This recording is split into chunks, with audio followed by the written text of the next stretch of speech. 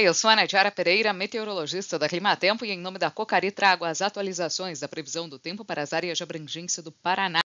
Neste mês de março, vem chovendo de forma frequente e com volumes expressivos sobre o centro-sul do Brasil. Isso tem provocado volumes acima do que é normal para a época do ano em grande parte do Paraná, inclusive sobre as áreas de abrangência da Cocari. E o excesso de umidade tem dificultado as atividades no campo, especialmente atividades de colheita e também instalação do milho segundo a safra. No decorrer dos próximos períodos, a tendência é de diminuição das chuvas. É normal para esta época do ano que a chuva comece a reduzir, mas teremos também uma mudança de padrão na distribuição da chuva sobre o Brasil.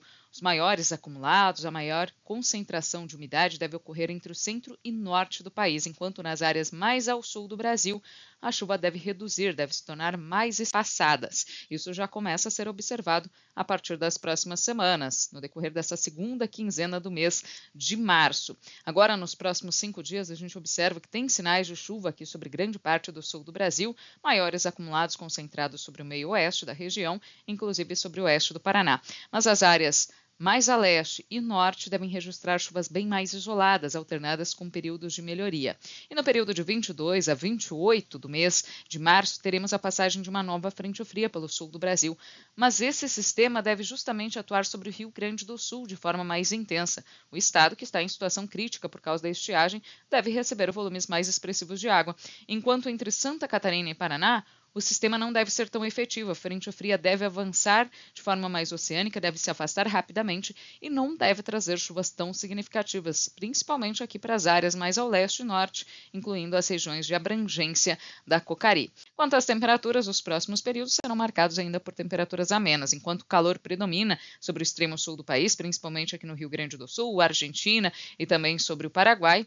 Aqui em áreas do Paraná e de Santa Catarina, a gente observa uma predominância de temperaturas mais amenas ao longo dos próximos 10 dias. Vamos acompanhar agora as previsões pontuais para a região dos Campos Gerais.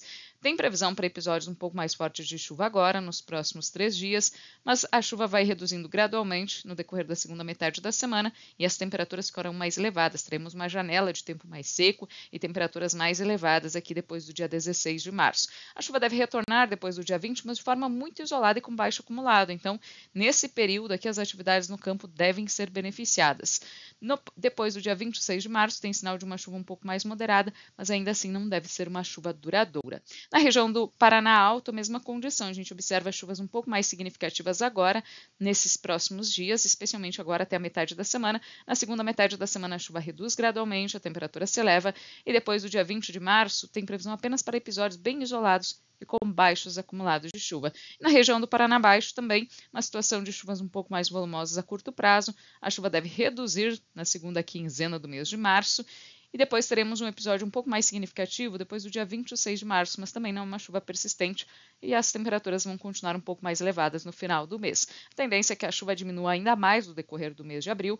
Não tem previsão para corte das chuvas, mas os episódios devem ocorrer de forma mais isolada e alternados com períodos maiores de tempo seco, que vão favorecer também o início da colheita do café. Esses são os destaques da previsão do tempo de hoje.